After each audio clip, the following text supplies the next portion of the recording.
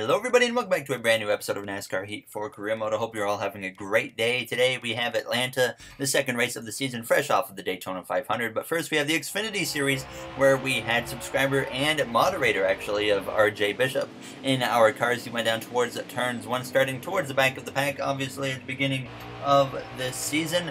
The uh, car isn't going to be very good, so obviously we're going to have to work on that as the season continues on. So we aren't really expecting very good finishes at all at the beginning of this season, probably in the 30s for the most part as RJ came out of turn 4 and he was running in the uh, 30s for the majority of this race as he came through now to the final lap passing Austin Hill there in the 61 as he came through turns 3 and on the exit of turns 4 actually getting pushed from behind there just about by Joey Gase as it would come through making contact across the line but RJ would hold on to the position and actually climb all the way up to P26. So we had actually gotten a pretty solid finish out of that as Noah Gragson did win the race. So now it's obviously time to go to the Cup Series for qualifying here as we have the Aris paint scheme on our car for this race as we came through, coming through to cross the line. Uh, it was a 29.614 and that goes P20 for us. So certainly some work to do here today at Atlanta Motor Speedway. Uh, hopefully we can move our way forwards and have a strong top 10 run. And on the pole, we got Kyle Busch.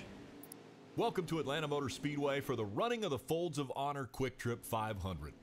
This is a mile and a half oval and a very popular stop for the fans and a handful for the drivers. Let's head on down to the track and get set to go racing. All right, thank you, Rick Allen. We're ready to go green here at Atlanta Motor Speedway. Parker Kligerman is a friend. Actually, I forgot to turn draft partners off, so that might get a little bit interesting here in Atlanta. Kyle Busch on the pole. Ryan Preece starting at the back after an engine change uh, after the qualifying session uh, came through and completed. Now as we get ready to go green here in Atlanta, Jimmie Johnson on our inside looking to make the playoffs here this season as he missed it last season. In our career mode as the green flag is on. Atlanta Motor Speedway is underway here today as we are green here from the 20th starting position behind us. We have the 42 of Kyle Larson he is still a rival from last season, doing what we can to get him away from that rival status, but man, it is tough, and the rival system in this game still needs work. It's really the same as NASCAR Heat 3, and it wasn't good enough in NASCAR Heat 3, so that's one of my biggest annoyances, I think, in NASCAR Heat 4 still, is just the rival system. Other than that, I've had a great time playing this game now as we come through turns 3 and turns 4, dropping down to that 22nd position, actually, as we head down this front straightaway here on our outside of our teammate of Aric Almirola, as he certainly kind of struggling at the start of this race just like us, not showing a lot of speed here today so far in Atlanta as we come through turns 1 and turns 2. We would actually move our way forward though, up to P17 at this point now it's getting to lap 7 and it certainly seemed like as the tires started to wear that it was starting to play into my favor, which we've seen quite a few times uh, in this uh, career mode and sometimes it doesn't uh, work in our favor at all, it works against us. But Jimmie Johnson, he actually continued moving his way forward as we got up to P15. There's actually a spin behind us already. Joey Gase's gun spinning gets hit by Brendan Gaughan. That was pretty heavy contact as that caution would be brought out here on lap 9, so we would have to come to the pit lane for two cans of fuel and four tires. Brad Keselowski at this point leading the way as this would set us up for our first restart of this race here in Atlanta. Now as the green flag is back on once again, we are underway. Brad Keselowski leads away. Joey Gase is out of the race early on here with now just eight laps to go in this first and opening stage at Atlanta as we go down towards turns one behind Ricky Stenhouse Jr., the number 17 car, as uh, now we haven't actually gotten any stage points so far this season. Obviously, only one race in there is Jimmie Johnson. He's up the middle, three wide. Not a good restart for the 48 cars. We go down this back straightaway, actually getting into that outside wall a little bit there as we go down in towards turns three. Keselowski looking like he's got a very strong car today now as we come through the center of the corner, but it certainly didn't feel like we had very good short run speed in this car, so I was a little bit concerned by that. Now, as Daniel Hemric is going to give us a shove down the straightaway, like I said, I forgot to turn draft partners off for this race, so hopefully that doesn't uh, become an issue as we go down towards turns one. He's going to go up the outside, uh, but we are able to stay clear of him because we come through the center of the corner. We close right on the back there of the 31 of, Ryan, of Tyler Reddick there as we nearly clean out the 17 of Ricky Stenhouse Jr. Thankfully, he would save it, and we would continue running down here in about P16 or so. Jimmie Johnson uh, had actually gotten back in front of me. We had run down Chase Elliott and him. Those who came through turns 1 and turns 2. This is now the final lap of the first stage as we went down this back straightaway for the final time side by side here with Chase Elliott in the number 9. As we go down through turns 3 and turn 4, you see me all the way up by the wall there as we come through the center of the corner, but not enough enough momentum is built up, and Chase Elliott will hang on to the position. So not a very good first stage for us at all, as we would come through to finish in P16 here for stage one. So definitely uh, not what we had wanted, and I, I, certainly felt like we had a car uh, capable of doing better than that, especially at least on the uh, long run. So hopefully we can figure something out here as we would come to the pit lane. And you see me actually make uh, a little bit of a wedge adjustment. The car felt a little bit too loose, uh, so I decided to turn the wedge up just a little bit. And hopefully that will tighten up the car like we need it to be as we get ready to go green here for stage two from P14.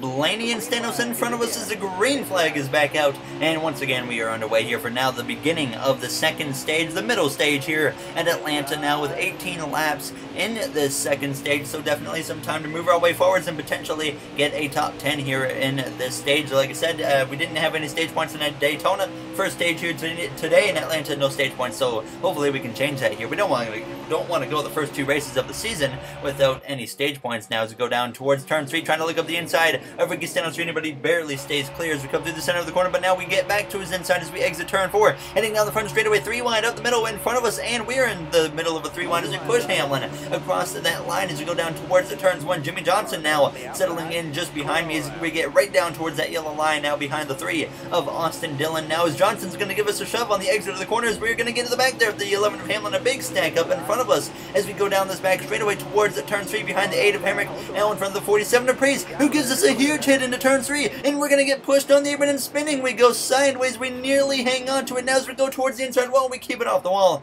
but we spin the car out, and then the no caution comes out now as I get back on the track here, and then now the caution comes out here in Atlanta. Now as I actually kind of angled the car right a little bit to hope that the caution would come out, but as I started to turn back on the track, I didn't think they were going to throw it. But all of a sudden, the 47 just slams me in the back bumper, and he just kept pushing. So there's the downside of forgetting to turn draft partners off, as this is a big setback here in the second stage. We're going to have some work to do now to move our way forwards. Obviously, I decided, since we're in the back, we might as well pit and take two cans of fuel and four tires. And there is a potential possibility that if it stays green for the rest of the stage, everyone in front of us might have to make a pit stop, and then we don't. So we could actually somehow still have a chance to win this stage here in Atlanta.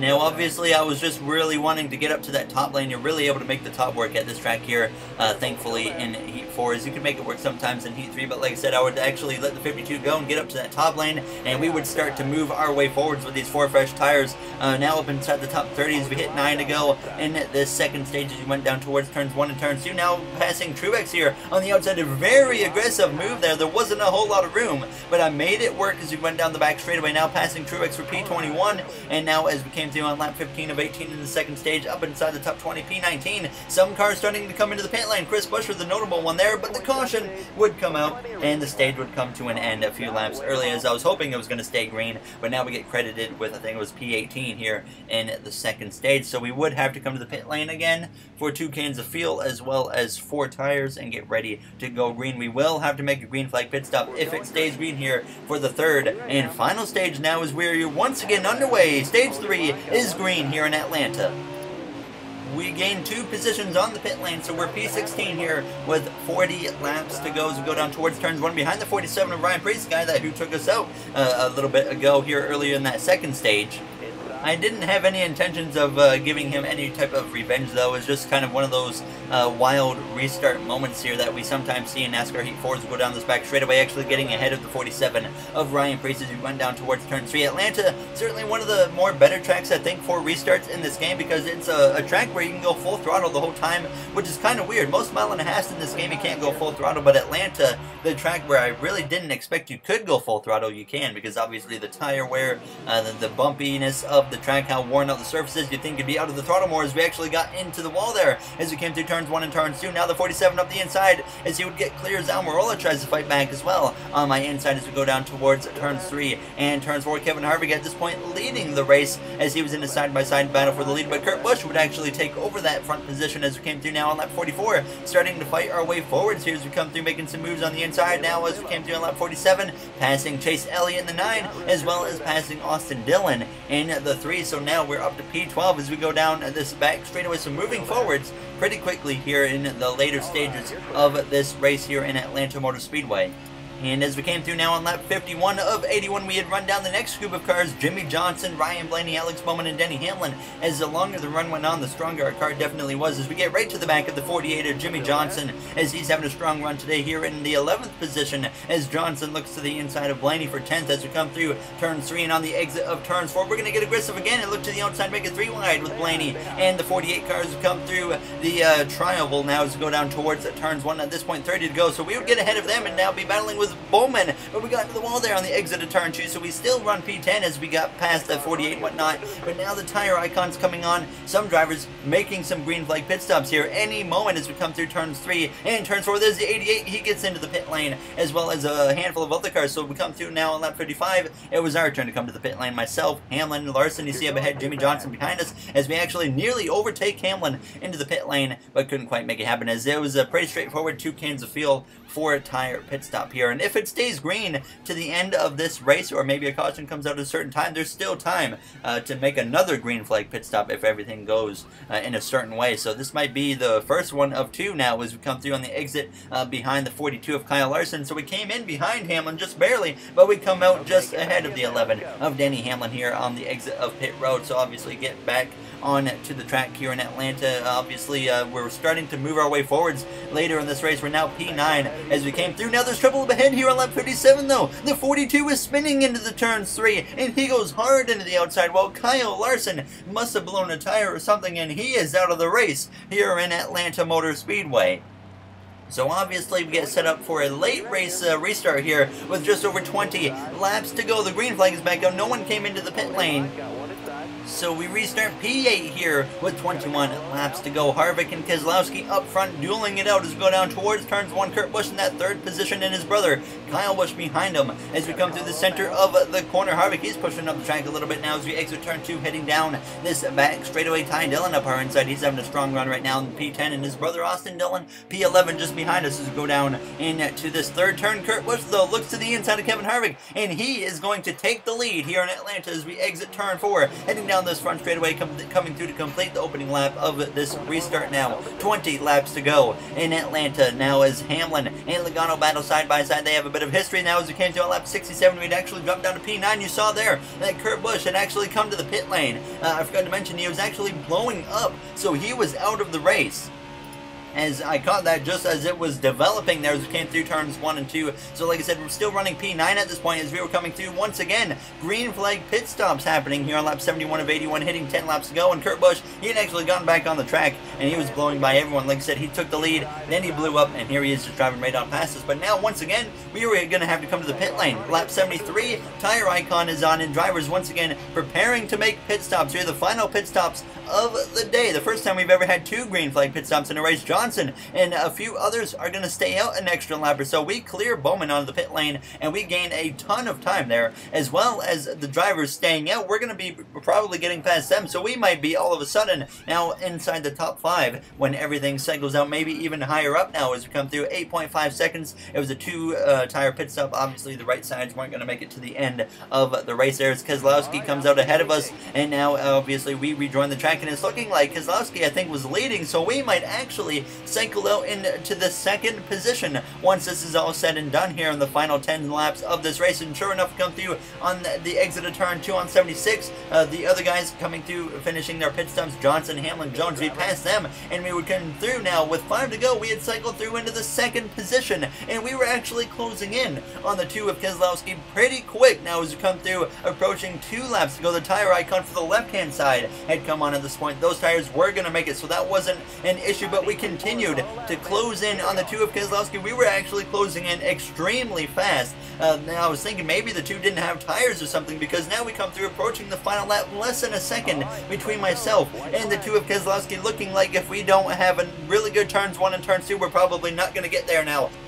But we do have a good corner, and now we close in even more. Less than uh, half a second or so now between myself and the two of Keselowski's go down this back straightaway into turns three and turns four for the final time. He's got the 95 of Matt DiBenedetto right in front of him. This is an opportunity now as we come through out of turns four for the final time. DiBenedetto in the way, but he moves up to the outside, and Keselowski will hold on, though, to win here in Atlanta. So a great uh, result for us to come back from P2. No stage points for us, and we were running about 9th, 10th, that whole, you know, final stage and obviously everything cycled out in our favor with the pit stops there, especially at the end. Some drivers staying out, we were able to gain some time on the pit entry, and we rallied our way to get a second place finish. Another corner, we would have easily had the two of Keselowski, and that's what I said to the media after, after the race. We would have had it with one more turn easily, or maybe if it was just, you know, the straightaway was longer, the finish line was down further, we might have been able to do something, but uh, a great result for us here in Atlanta. Uh, both Daytona and Atlanta stage one and two didn't go well for us, but we got good finishes